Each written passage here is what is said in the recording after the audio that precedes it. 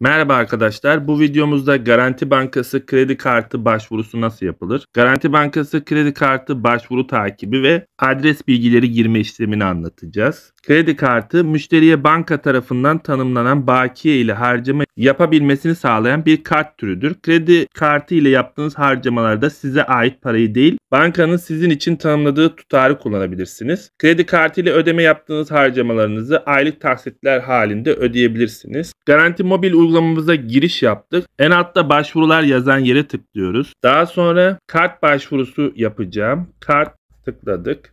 Burada öne çıkan kartlar Bonus Gold Drink, para kart bonus, bonus American Express. Biz tüm kartlar diyoruz. Bonus puan kazanmak istiyorsanız bonus seveni kullananı bedavası en bol kart. Çıkan kartlardan seçebilirsiniz. Kendinize özel taraftar kartları da mevcut. Bonus Gold Drink'i seçtik. Başvur diyoruz. Devam dedik. Kredi kartı. En son adıma geldiğimizde başvuru işlemleri için adresime teslim veya şubeden teslim. Teslimat adresini seçiyoruz. Eğer teslimat adresiniz mevcut değilse ana sayfada profil, kişisel bilgiler ve adres bilgilerinizi güncelleyebilirsiniz. Kart başvurusu yaptıktan sonra kart başvurunuzu işlemler, başvurular, en altta başvuru takip, kart başvuru takibi yazan yerde kartınızın takibini sağlayabilirsiniz. Basıldı, yola çıktı gibi görebiliyorsunuz. Yıllık kart aidat, Garanti Bankası kredi kartı kart ücreti için internet sitesine gelerek buradan aidatsız kart seçebilirsiniz.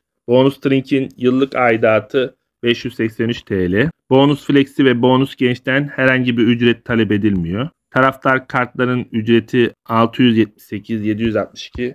Güncel yıllık aidatlara bakabilirsiniz. Bu şekilde arkadaşlar. Beni dinlediğiniz için teşekkür ederim. İyi günler diliyorum. Sağlıcakla kalın.